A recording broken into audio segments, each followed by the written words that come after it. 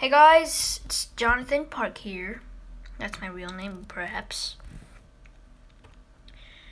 Um, I've been trying to do an update on my pet crab that I caught yesterday.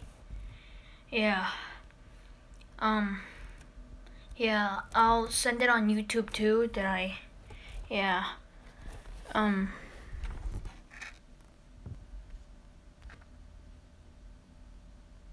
Say hello to my pet crab. It's an Asian shore crab.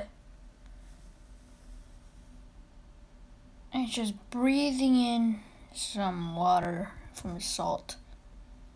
Caught it from Edgewater. And it's doing fine.